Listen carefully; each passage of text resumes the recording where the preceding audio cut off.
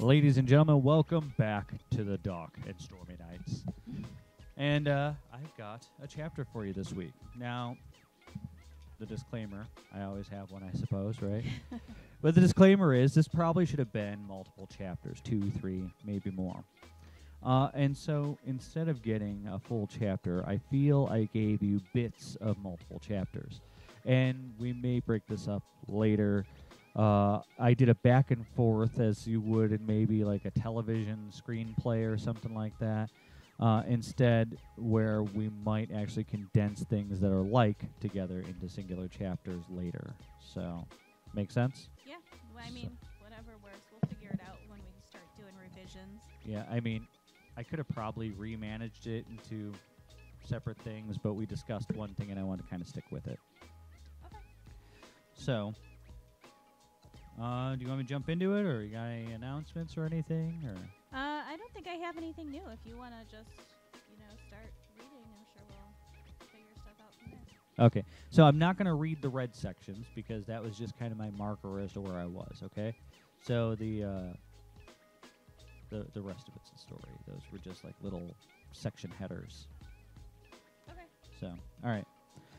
Somewhere west of Fargo, North Dakota, the rambling roar of about two dozen motorcycles cut through the silence of the night on a near uh, abandoned stretch of freeway. As a pack, they stay in tight formation. The headlight beams of the rumbling bikes cut the night into pieces as they spread out across a sleepy, quiet truck stop. The biker gang fans out to cover as much of the truck stop as they can. In sections two by two, the bikers begin searching the outer rings and working toward the center of the lot. They methodically stalk up and down the aisles and rows of the parked trucks. Uh, a startled, fearful trucker springs from his cab in his underwear and fires two shots into one of the bikers, staggering him for only a moment.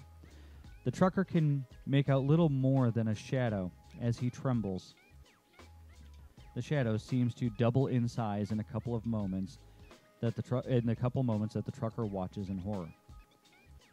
The shadows reach out and snatch the trucker from his perch behind the driver's door and tosses with tosses him with an ease like tossing a ball.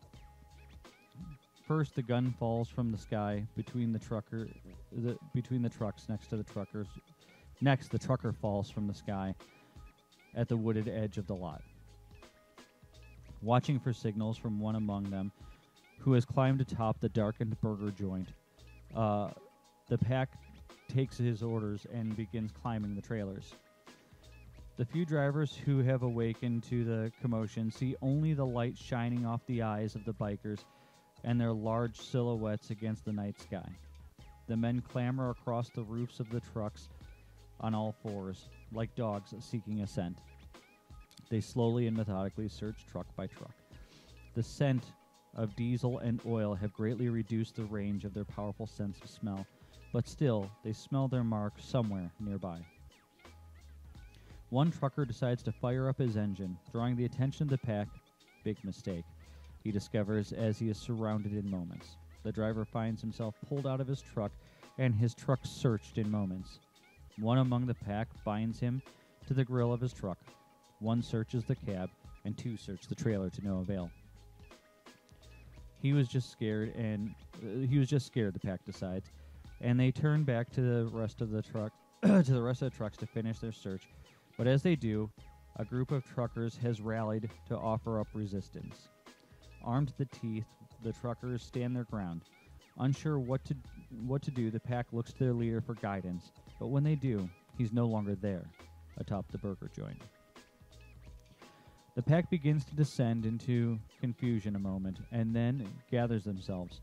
One of the larger members motions to two of his men to return to searching, while the rest of the pack remains to deal with the truckers. As the two bikers climb the trucks, the remaining bikers and the armed truckers clash. The smell of gunpowder further slows the search. Growls and gun blasts punctuate the night as the bikers begin to tear apart the truckers. The truckers put up a good fight, and just before they can celebrate victory with a few losses, the bikers,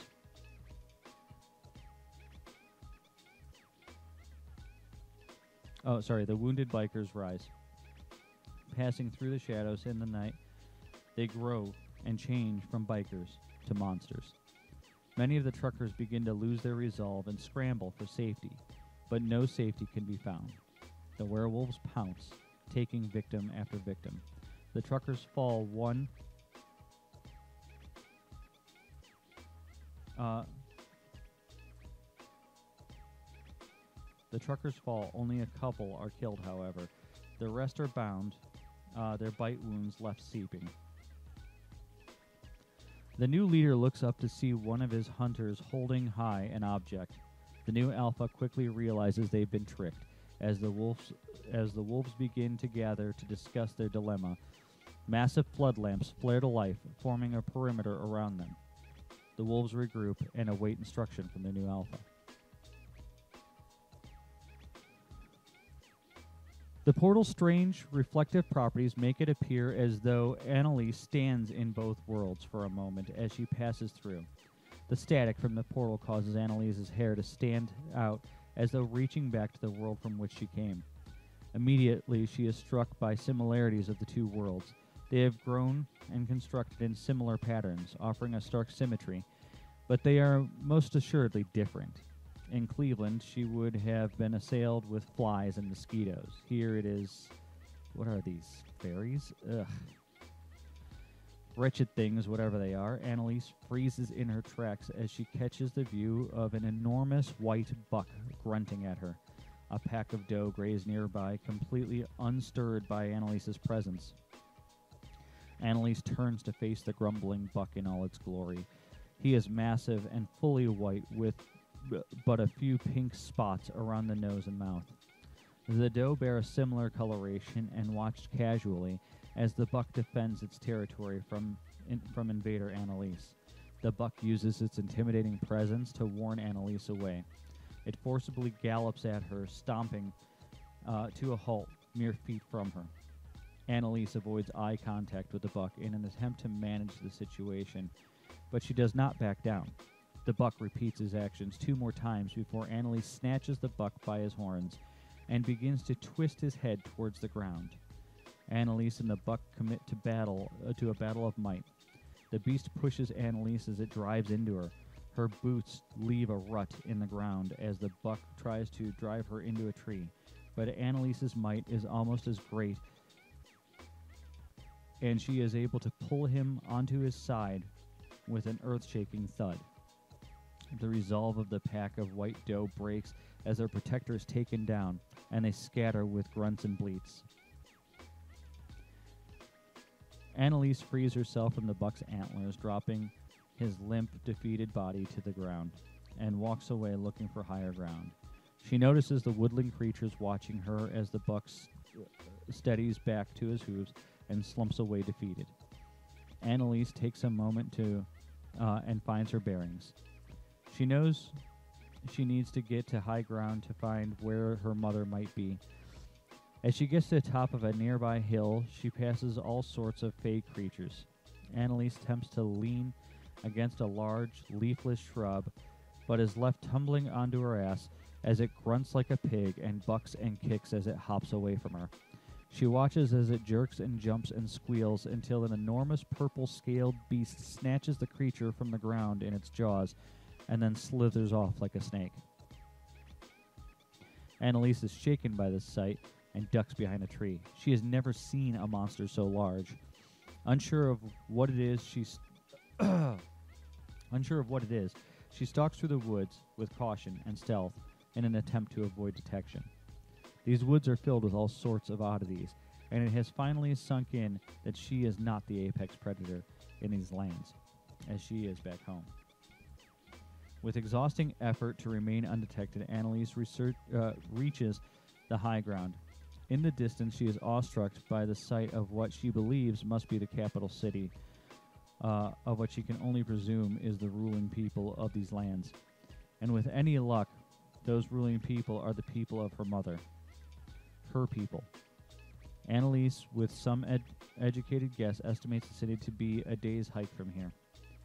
She searches the horizon for breaks in the foliage that she might assume could be roads and villages, Taking note of their locations, she formulates a plan.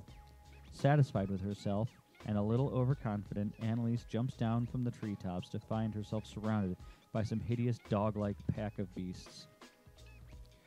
The pack of gray, largely hairless dogs closes in around her. Annalise contemplates attacking or even climbing back up the tree before she notices the figures in the woods. I'm gonna keep going right through, you think? I mean, you said it was a pretty long chapter, so yeah, might as well. Then we'll discuss.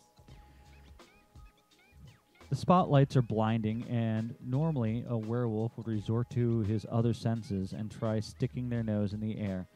They try to catch a scent of their foe, but whoever their foe is has flooded the air with a pungent musk to fool their sense of smell. The pack then ri- uh, tries to listen, but their foe is broadcasting a ring that stings the ears.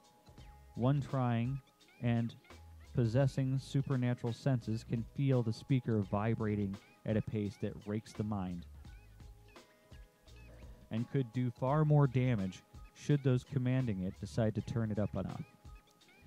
Other options exhausted, the pack resorts to trying to see their enemy through the heavily obscuring spotlights. The wolves can make out shadows of armed men standing between the spotlights, but it's impossible to know who or how many. A megaphone screeches to life with a feedback squeal that brings pain to more than a few of the pack, driving one to his knees. An echoey voice calls out through the megaphone This is Hunter Kilbane. We have you surrounded. Surrender now, and no harm will come to your alpha. A spotlight kicks on with a bassy clunk from uh, from the switch.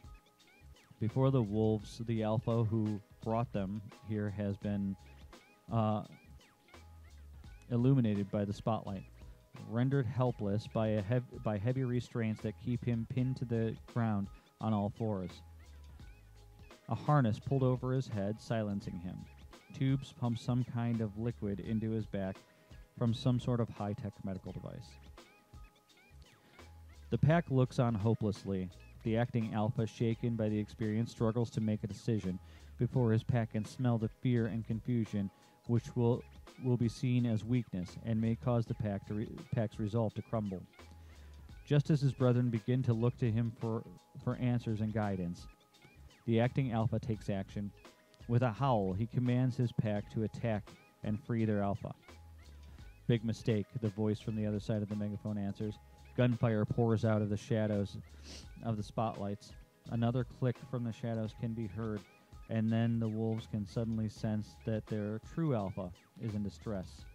The medical machines have been turned up.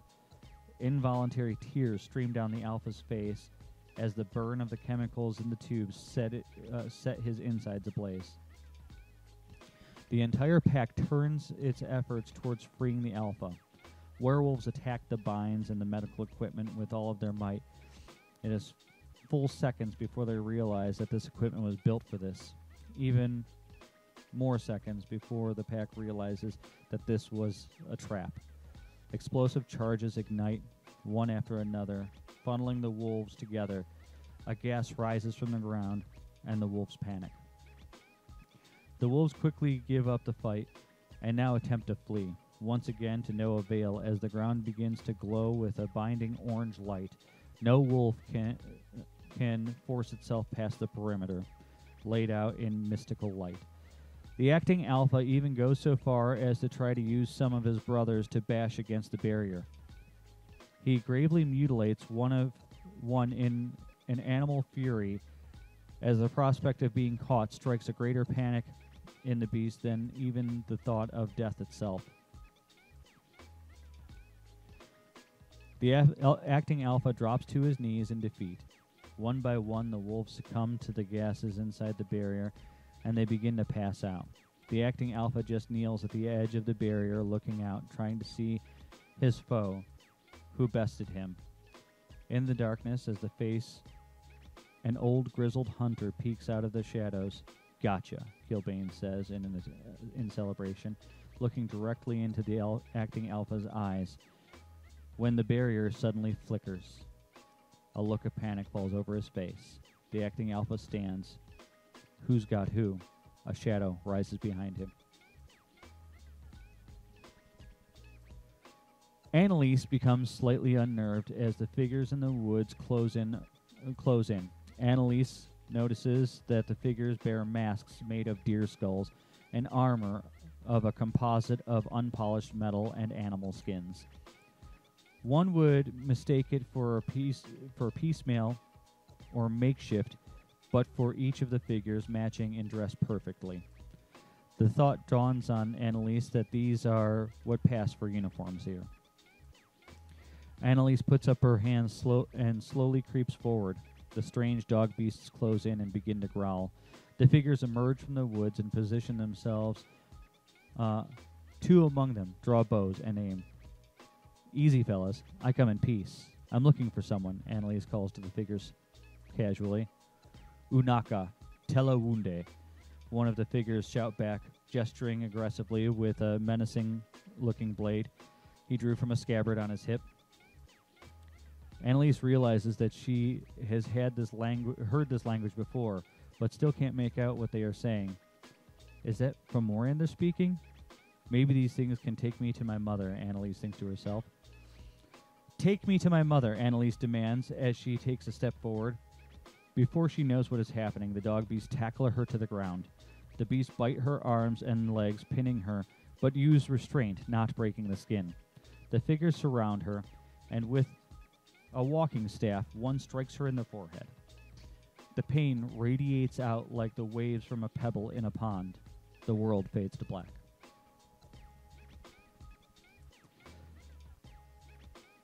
Lee set to it, scraping what bits of the bodak he could off the off the ground.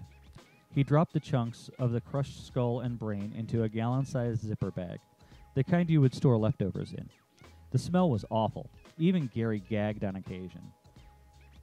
Lee's phone started buzzing. Ah, fuck, he exclaimed as he fished it out of his pocket, almost fumbling it. It was Nigel. Uh, can can you handle this kid? I got my hands full, and I wouldn't want him to think I'm I was, was still avoiding him.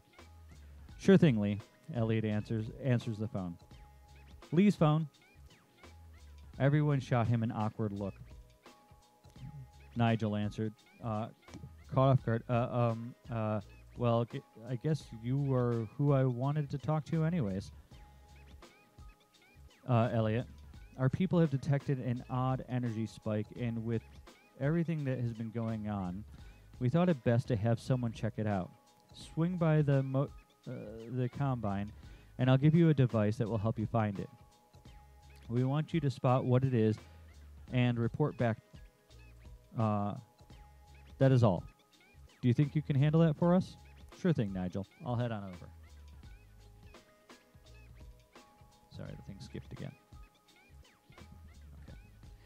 Annalise begins to rouse as the figures who attacked her in the woods drag her between them. The dog beasts are in formation around her, and she can only make out the two men carrying her. So the other must be behind her, she assumes. She decides to continue to play like she is knocked out, while they drag her to whatever they are to wherever they are taking her. Hopefully, to a leader where she can get some answers. Meanwhile, Annalise decides to take take in her surroundings. The dense woods eventually give way to a heavily industrialized area. Large smelting pits, forges, foundries, similar but not the same as home. The world is strangely primitive while being well industrialized. It is both organized and natural at the same time. It seems where if something could be manipulated to grow, they did, and when something needed to be crafted, they did, causing an odd hybrid of nature and craft. Trees growing as pillars, vines as walls, stone statues, and iron uh, ballistas uh, set in naturally grown surroundings, dotted with carved masonry to uh, reinforce where needed. Wild elk and heron graze the fields and ponds without a care, as though they know they have nothing to fear of the locals. The aesthetic uh, that has been forged from the environment is one of natural chaos forged in order and function. It feels like a warm authority to Annalise, the work of a caring dictator. Humans could never understand the love that goes into something like this, uh, she thought to herself. The kind of love she wished to bring to the to the world. peace and love through might. They would one day learn to love it as she did. Annalise was dragged down the center path of a massive, ornate courtyard garden. She couldn't help but notice the beautiful garden full of edible plants. They approached a huge building that mirrored the terminal tower in the human world, in her world. It was almost the exact shape, but constructed of living foliage fortified with steel, cement, and glass. She was dragged through a set of natural vine arches, draped by floral vines, and into a sprawling atrium where they entered a gondola constructed of leafy vines that lifted them several floors at a fast pace, uh, a fast rate, enough rate to loosen Annalise's lunch from her stomach. And had the gondola not stopped when it did, she feared she uh, her act may have been blown, but she managed to keep the contents of her stomach down as the gondola came to a stop. The men dragged her the men dragging her walked her into a wide hall chamber where she was dropped in front of a desk. What is this? The woman at the desk asked in English. This the surprised Annalise almost as this surprised Annalise almost as much as the familiar, familiarity of the voice surprised her. Hamu ufu tal awe, the male voice answered. Uh, her mother, you say. So this is the woman spoke as Annalise put together who the voice was. Mum, she said as she lifted herself enough to see the woman. But when she did, at least when she did at last see her, she knew it was impossible. No, child, I'm the daughter of the one you call Mum. My mother raised you, and your mother um, uh, raised me. Annalise stared on, confused a moment, as she tried to piece this new information into her childhood. Was this why Mum was actually good to her? Because they held her own daughter hostage? How much of my childhood was a lie by omission? How much was an outright lie? Does her own mother even love her? As she processed this new information, the doors behind uh, I don't know what I meant here, in the center of the hall, flew open as a guard dressed like those who brought her here uh, left. At the angle she laid, her line of sight met with an ornately adorned woman who sat upon a throne of flowering vines. As many other things here, it seemed that they were grown for this very purpose. Annalise knew it had to be her mother. She, she yelled, Mother! To her as she tried to scramble to her bound but to her bound feet, tumbling back to the floor. Annalise felt the strike to the back of her head once again. Like the stone in the pond, once again the world faded to black. Give me a second, I'm just trying to get my. Okay. No, Lee, I'll be fine. I'm just digging around the woods with this meter looking for the energy drain, Elliot says, holding his phone with his shoulder in his ear. Hands out in front of him, holding up a bulky electronic device, trying to read the weird wave pattern on the screen. All right, kid, if you're sure, I'm just a call away if you need if you need me. But remember, if you find something, don't engage. Just get the hell out of there and call Nigel or me if it's an emergency. I got it, Lee. I know the drill. All right, kid. I'll talk to you later. Elliot stuffs the meter under his arm and hangs up the phone, shoving it in his back pocket. Elliot takes a moment to look ar- to look around and try to catch his bearings. He was never one for the woods, and used to need his inhaler for things like this. It's weird how he just didn't need it that much anymore. But he knew he felt great, and this mission was exciting. He held the meter out in front of him once again and slowly turned until the subtle, hilly waves became erratic. Elliot trudged through the middle of the dense woods as the waves became more and more excitable until he found a dense section of the woods just before a clearing. A strange shimmer consumed the center of the clearing, and a small person knelt nearby. As Elliot looked closer, he was almost certain that not only was the shimmer tethered to and hurting the kneeling person, but that the person was Rowan, he called out in confusion.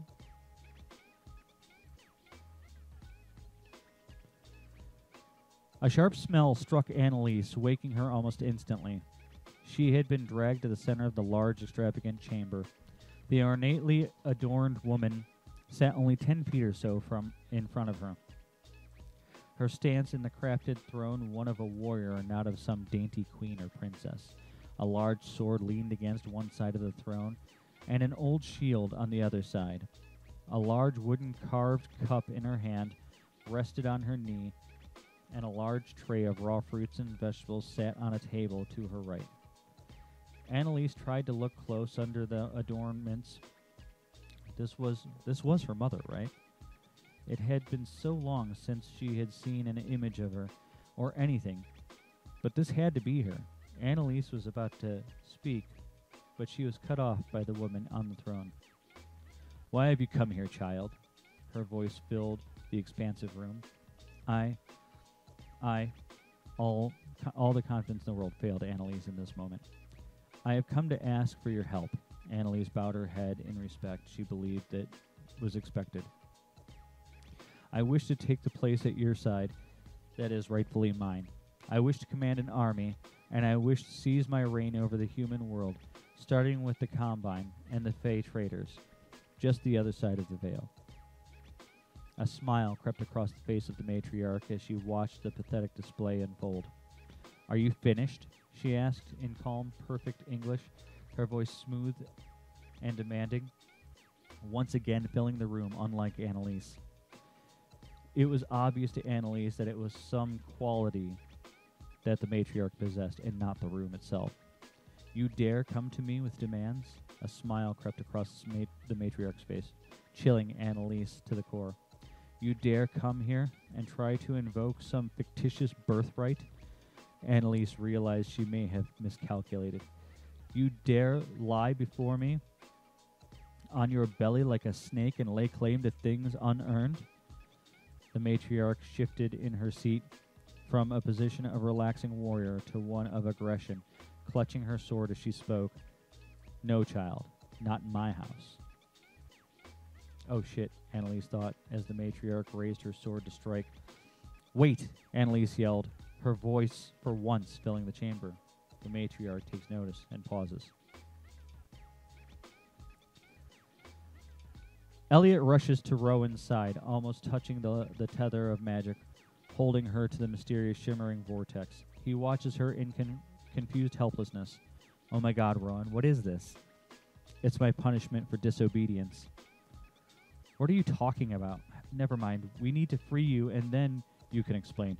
What do I do? How can I get you free? Pained by even talking, Rowan forces out the words, I don't know. I've never seen this kind of magic before. We've always just chanted the coincidental, or we've always just charted the coincidental paths before. This is different. She's using my soul to force the gate to stay open. Okay, okay, let me call for help. You need to leave. If she returns and you are here, she'll kill you. Elliot looks at Rowan in shock as he dials the phone. Nigel, we're in trouble.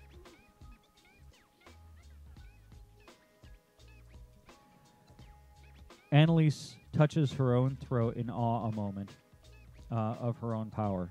Quickly getting back to her to the matter, she slowly rises to her feet, one hand in the air as she pleads.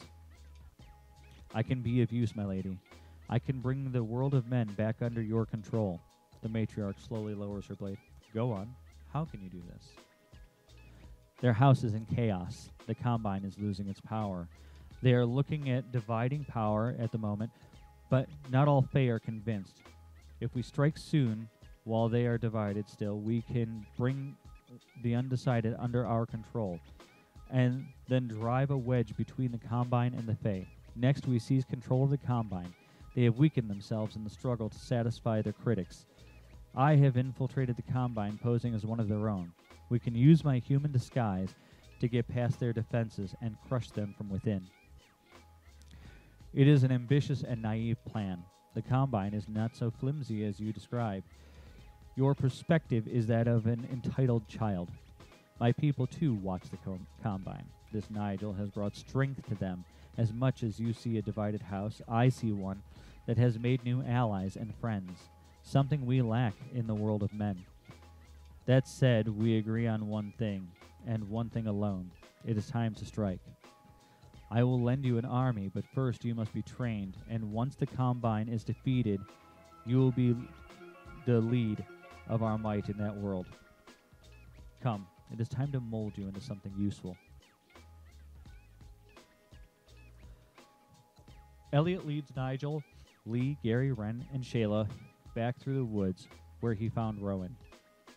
Oh, Rowan, Nigel exclaims as he spots her on all fours, cringing in pain as the portal sucks the life out of her. Nigel rushes to her side. What did they do to you? Where where is Raina? Dead, Rowan replies, and I will soon be too. We will get you free of this, uh, darling, I promise. And we will find those who hurt you. And Raina, and we will make them pay. Lee, tell me you have something. Lee peers intensely through his glasses at the pages of an old tome. He licks his finger and then turns the page. This could work, Nigel, but I'm, I'm not 100% on this. Let me see it, Elliot blurts out as he snatches the book from Lee's hands. Without, without warning, he begins to recite the spell in the book. Kid, Lee interrupts calmly, but Elliot just keeps casting. The ancient words roll off of his tongue as if he'd spoken them his whole life. Kid, Lee interrupts again. Only sorcerers, witches, and some fae have uh, access to real magic. Elliot keeps chanting. Nigel watches in awe. Where did you say you found him, Lee? Nigel asks, uh, staring as a subtle pink glow overtakes the spell. Is he? Lee begins. Yeah. Nigel nods. He's affecting the spell.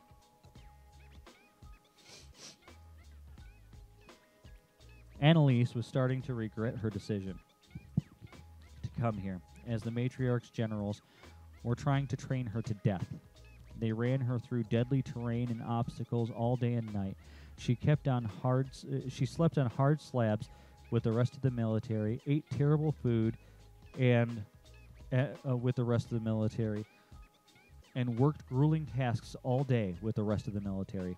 She was expected to do rounds, shore up defenses, and keep an exhausting training schedule with the rest of the military, all while wearing these terrible uniforms that seemed to be made of animal carcasses. It aided Annalise's mind how time was odd here. Months could pass in hours, or moments could take days or weeks. She could only hope the matriarch knew what she was doing. Time was of the essence, but Annalise knew her disobedience could mean death.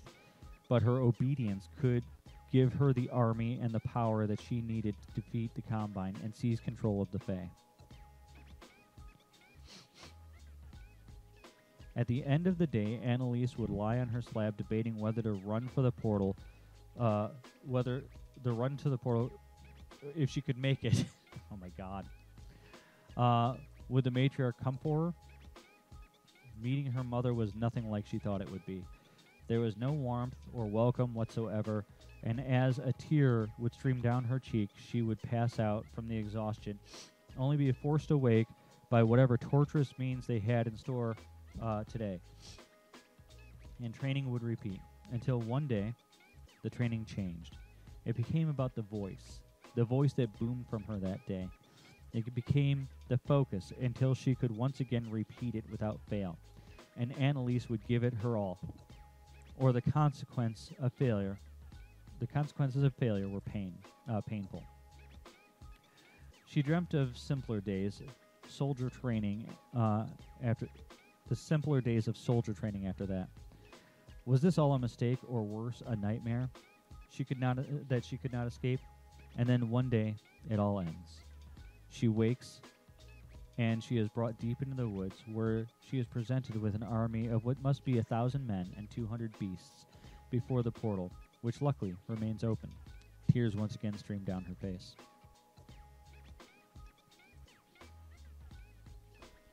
Elliot fo- focuses all he has into the spell. His body is engulfed in pink flames as he levitates slightly off the ground. The mystical tether begins to bend to his will. His chanting fades to a deep, otherworldly voice, not his own. The book floats out, uh, out of his hands, hovering in front of him. A breeze, unfelt by anyone else, blows his clothes and his hair about him. The clouds above begin to thicken and grow dark. Rain begins to fall soon, followed by thunder and lightning. Lee and Nigel look around in concern and awe. Did you know he could do this, Lee? Nigel asked with a quiver in his voice. I was going to ask you the same thing, old pal. Well, shit, Nigel exclaimed. Just as it seems the tether is about to break, it suddenly pulses with fresh energy, and Elliot is thrown back. His concentration is lost for a moment. He looks down at his hands in frustration and then over to the tether that is draining Rowan. The portal begins to glow a purple black as something breaches its surface. Fuck, Lee exclaims as he watches Annalise lead an army through the portal. Annalise is caught off guard for only a moment before she commands her army to attack. Elliot scrambles back to his feet and picks up the severing spell where he left off. His efforts have a rapid effect once again, draining the portal. Annalise's army charges to stop Elliot, but with a wave of Nigel's hand, they are sent tumbling. The army surges once again, attempting to stop Elliot, and once they are within feet, Shayla jumps out in front uh, of the army. They pause a moment in confusion. A smile falls across her face as one of the soldiers tries to put a hand on her head uh, to push. She doesn't budge. She try- he tries again with more strength and fails once again. Finally, he attempts to toss her out of the way with both hands, and once again, he can't budge her. Finally, the lead soldier resorts to drawing his sword. Shayla lifts a brow in interest the soldier swings his sword to strike her down with all of his might. As the sword comes close, a bright shimmering pulse blasts forth from her forehead, blasting the enti- uh, entirety of the forces that have crossed over at this point, tumbling across the battlefield. The tumbled soldiers rise once again to attack Shayla, but before they can fully rise, she begins to change form. More soldiers cross the through the portal, joining the charging uh, joining the charge shim- at the Shimmering Dragon. She attempts to attack, but before she can even complete her transition, she is completely overrun by soldiers and beasts. She flails, throwing some of them off of her, but they keep coming. Annalise charges Lee, swinging her sword with force, attempting to overwhelm him quickly. Lee shoots from the hip, deflecting her first strike with a bullet uh, buying him enough time to pull a machete from his boot. Ren weaves a spell, putting up a shimmering magic shield uh, spell, keeping the, the soldiers from penetrating and interrupting this battle. Gary hops into the trees, dropping down on occasion to swipe a weapon from the hand of a soldier. Elliot struggles to break the tether as he watches the army continue to penetrate into this world as he watches the soldiers overwhelm and bind Shayla, as he watches Gary caught and shackled, as he watches Nigel surrounded and backed against a tree, as he watches the soldiers pound Ren's shield to its limits and Lee knocked to the ground by Annalise. She raises her blade into the air, and finally, Elliot draws the power from within himself and shatters the tether, severing those in mid portal crossing, causing their front halves to fall forward as their back halves apparently remain in their home world. Ren's shield drops, and the soldiers tackle her. Annalise instantly shifts her attention to the failing portal and then to Elliot. Her voice booms across the battlefield Kneel! The voice overpowers Lee, and no matter how much he fights, he is forced to kneel. Followed by Nigel and Ren and Gary and every soldier, all eventually kneel, but Shayla, who is struggling against her bindings, and Elliot, who remains energized by the magic that continues to course through his veins. Elliot levitates gently to the ground, still engulfed in pink flames as in a rage. Annalise throws her sword end over end at Elliot. All anyone can do is watch in horror as the event, which seems to occur in slow motion, transpires. All everyone can anyone can do is watch as Annalise's blade pierces Elliot's abdomen, causing him to crumble to the ground. The fire that engulfs Elliot diminishes to a vapor and drifts from his body as he drops to the ground and gasps for breath. No! Shayla screams. Shayla's voice booms. A blast emanates from her, throwing everyone several feet from her. Shayla throws her body over Elliot's, using it to shield him. She, she spun about carefully, not careful not to crush him, preparing to defend, but the army of Fomorians did not attack. They instead faded into the woods, using the moment to make their escape. Rowan rushed to Elliot's side uh, and began inspecting the wound. The sword went all the way through, entering just below his liver and exiting through his back, uh, where Rowan guessed his kidney would be. Oh no, Elliot, why did you stay? You should have ran, Rowan sobbed into, into his chest. Slowly, one by one, his other companions gathered around as his world slowly faded to black. And that's the end. Okay, that was definitely a long chapter. Um, How long? Uh, how? Uh, we're going on 40 minutes. oh, really? Yeah. That was only 10 pages. Um, I definitely see where you're coming from. That it needs to be broken up Am into I, more than uh, one. and it's a little confusing the way I broke it up. I think. I think it'd be better if we condense things together where they belong. Uh, Um, I, I had a plan in the beginning, and if it would have just been a chapter, I think it would have worked. But uh, this was too much for it to have worked. It's a lot. Um, it's good, and there was even a couple of times when I was like, "We need to explain this more, or we need to go into this and kind Sure, of yeah. the reader." But then you did it, you know. So like you covered everything. oh, you think? yeah, because I was like, we, she was s- spending so much time in Fae, and I was like, we need to make sure that the reader understands that time passes differently. And then you touched on that, Yeah. you know. And then the only thing I was concerned confused about was like, who was the hunter that was attacking the wolves at the truck stop? Well, in the end, he failed, but he was I know. he was the North Dakota chapter of the Hunters. Oh, okay. So that's like I was a little confused about that. So the werewolves can still head back, but it was a delay. right. Um, okay. So I mean, it's good. The only question I have is this last battle here. Okay. Um, did Shayla use her nullifying power? And if not, why? Yeah. Couldn't her nullifying blast. power have shut down the portal? Um. Well, she used her defense power the first time, and I think he broke the tether before she could nullify anything. I don't know. She. I. I. I. I was thinking like, I think her nullifying power is reflex. If somebody had cast a spell on her, it would have probably worked. Okay. You know. But instead, they tried to attack her with a sword, and so instead she shielded. You know. Okay. So I think that we just need to maybe hint that she can only use that on reflex when a spell is cast at her. Yeah. You know. And maybe we ask, you know, why didn't you use that nullify yeah, we thing? do something. So and like, she'd be like, it's a reflex. I don't have. right, she doesn't have control, Control. over it. Okay. So yeah, as long as like that is at least vaguely addressed, Right. you know, so that like the reader knows that it's not like a blaring plot hole. Right, right, right. Just like Yeah, because we've only down. shown her use it on reflex. Right, and the bottom line is that this isn't just magic. Like this is a an army coming at her. Yeah. It's not the same thing. Like her using her nullifying power doesn't save her in this situation. Right. Yeah. Exactly. So, um, so like it's not a huge deal, but I still feel like that needs to be hinted somewhere. sure. Uh, and even if we go back to like my chapter where she was kidnapped, you know, and Right. like and make sure it's addressed that it's it's just a reflex, you know. Right. Um, okay, but otherwise, I think it was really good, and it was really long, so I'm going to keep my comment short. But like I said, every time, uh, every time I had a question about something, you addressed it. So I Okay, think you're good. Awesome. Then we'll come back next week and we'll plan the following chapter.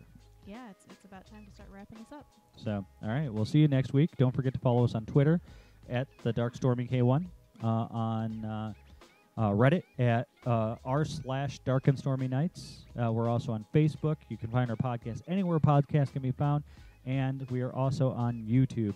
Uh, and in our next season, we'll be switching to video for YouTube, so it's not just like a a, a loop of, of uh, moving images. So, but uh, but we'll see you next week.